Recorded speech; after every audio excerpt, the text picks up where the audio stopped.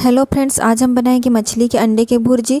बहुत ही सिंपल तरीके से बनाएँगे और बहुत झटपट बन जाता है। कम मसाले के साथ बनाएँगे। तो चलिए स्टार्ट करते हैं इसकी रेसिपी तो यहाँ पर मैंने एक कढ़ाई गरम कर लिया है। उसमें मैं सरसों का तेल डाल दिया दो टीस्पून और इसको अच्छी तरह से गर्म होने देंगे। उसके बाद हम डालेंगे जीरा। जीरा हाफ़ टी स्पून मैंने डाल दिया।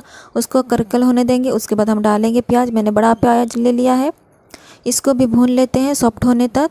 हमको रेड या फिर ब्राउन नहीं करना है। बस सॉफ्ट होने तक इसको पका लेंगे। आप चाहें तो यहाँ पर ग्रीन चिली भी ऐड कर सकते हैं। तो यहाँ पर ये प्याज भून चुका है, अच्छी तरह से सॉफ्ट हो चुका है। तो अभी यहाँ हम डालेंगे टमाटर। तो मैंने दो मीडियम साइज़ के टमाटर ले लिया था, इसको भून लेते हैं और इसको पकाएँगे टमाटर को सॉफ्ट होने तक।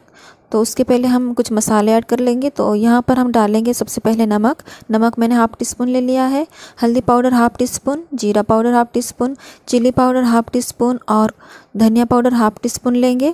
और यहाँ पर कुछ मसाला ऐड नहीं करना है, बस इतने ही सी मसाले से हम इसको भून लेंगे। ड्राई लग रहा है तो थोड़ा सा पानी ऐड कर लेना। तो यहाँ पर लो टू मीडियम फ्लेम पर इसको भून लेंगे। टमाटर सॉफ्ट होने तक या फिर पाँच से सात मिनट तक इसको भून लेंगे। तो देखिए यहाँ पर टमाटर पक चुका है, अच्छी तरह से सॉफ्ट हो चुका है, मसाले वगैरह सब कुछ अच्छी तरह से पक चुका है। तो अभी यहाँ पर हम डालेंगे इस स्टेज पर मछली के अंडे। तो यहाँ पर मैंने एक मछली के अंडे ले लिया था। इसको मैंने धो के साफ़ कर लिया था और इसको मैश कर लिया है मैंने। उसको डाल देंगे और अभी यहाँ पर हम डालेंगे धनिया के पत्ते। धनिया के पत्ते डालने से अच्छा सा फ्लेवर आएगा। तो इसको डाल देंगे और मिक्स कर लेंगे हम। तो मछली के अंडे को मैश करना बहुत ही ज़रूरी है। मार्केट में जब हम लाते हैं तो ये बड़ा बड़ा गोटा गोटा रहता है। तो ये भूनने में थोड़ा सा प्रॉब्लम होता है। तो मैश कर लीजिए तो आसान होगा भूनने में। तो इसको मिक्स करके ऐसे ढक करके हम पकाएँगे कम से कम पाँच से सात मिनट तक। तो ये देखिए मिक्स कर लिया है मैंने।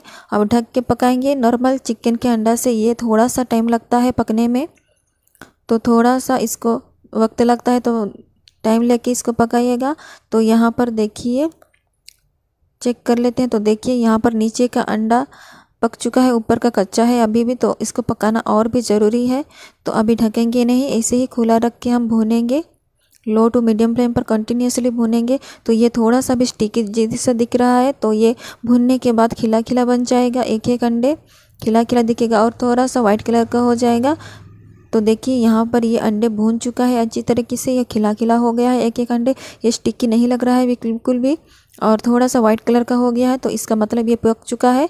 तो देखिए, कितना आसान है बनाना, बहुत ही झटपट बन गया सिंपल तरीके से। तो ये रेसिपी एक बार आप ज़रूर कीजिएगा।